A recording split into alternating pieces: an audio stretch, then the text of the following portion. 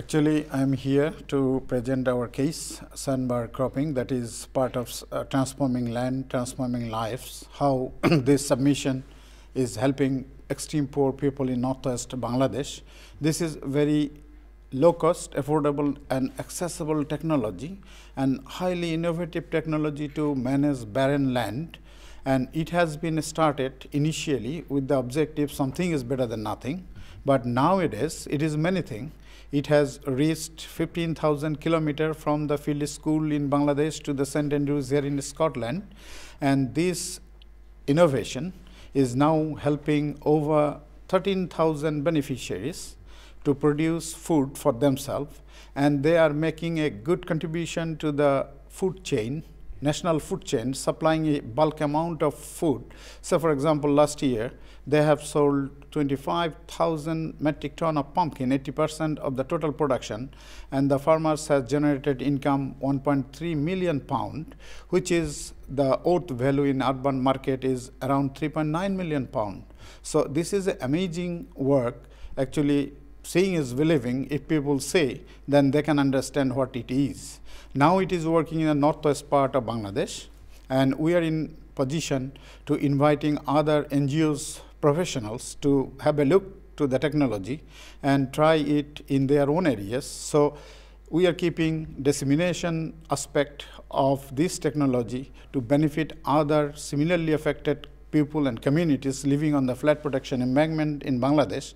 And you know, in Bangladesh, out of 64 districts, 34 is completely uh, associated with erosion and flooding where 200, over 200,000 people living currently on the embankment. So this technology can help them a lot to bring them back to life, normal life and livelihoods.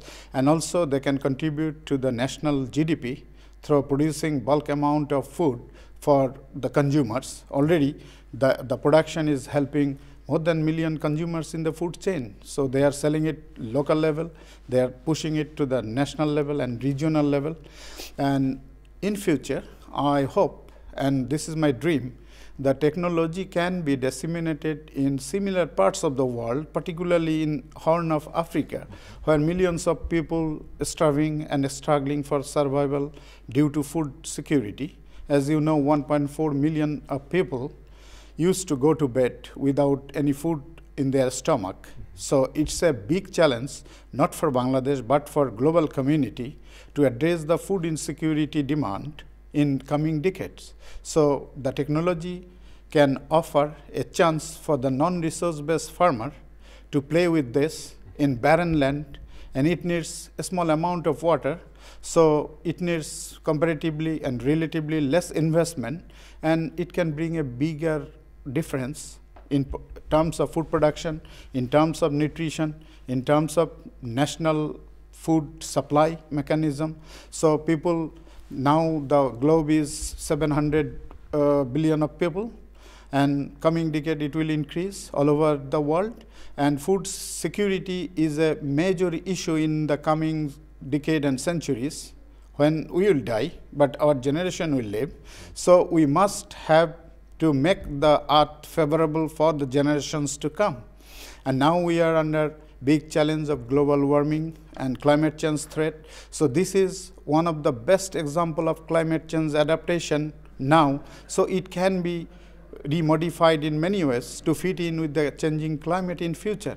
I hope and believe the technology will bring opportunity in future, not for Bangladesh community, but for the other community and suffering from food insecurity all over the world.